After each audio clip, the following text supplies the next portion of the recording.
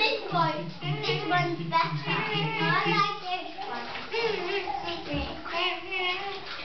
Yeah. Look, you can look out the window. This one doesn't have any engine, so you can just look out. And it's a really